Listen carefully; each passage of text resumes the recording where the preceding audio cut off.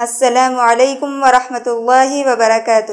الحمدللہ جامعۃ المفلحات حیدرآباد میں تیس نومبر اور ایک دسمبر کو ایک عظیم الشان آل انڈیا مسابقہ حفظ حدیث منعقد ہو رہا ہے، جس میں ابتدائی عالمیت اور فضیلت کی طالبات حصہ لے سکتی ہیں۔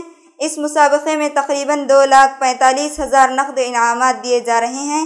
ساتھ ہی ساتھ تمام مشارکات کو توصیفی سند بھی عطا کی جائے گی۔ یہ مسابقہ تین زمروں پر مشتمل ہوگا۔ زمرہ اول سند یافتہ عالمات و فاضلات کے لیے ہیں، جس میں مقرر کتاب کا نام ہے، خواتین سے متعلق پچاس احادیث۔ اس میں پہلا انعام پینتیس ہزار، دوسرا انعام پچیس ہزار اور تیسرا انعام بیس ہزار روپے ہیں۔ زمرہ دوم متوسطہ و عالمیت میں زیر تعلیم طالبات کے لیے ہیں، جس میں مقرر کتاب کا نام بچوں کی تربیت سے متعلق چالیس احادیث ہے۔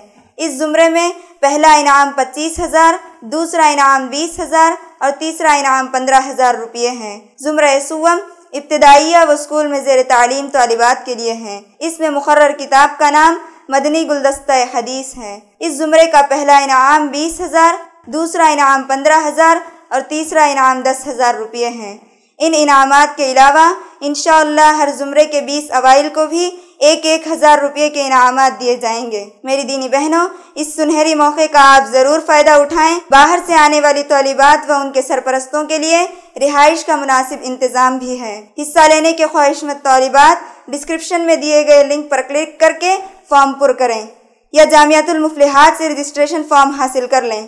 رجسٹریشن کی آخری تاریخ بیس نومبر ہے، لہٰذا جلدی کیجیے اور اس ذریعہ موقع سے ضرور فائدہ اٹھائیں۔ والسلام عليكم ورحمة الله وبركاته.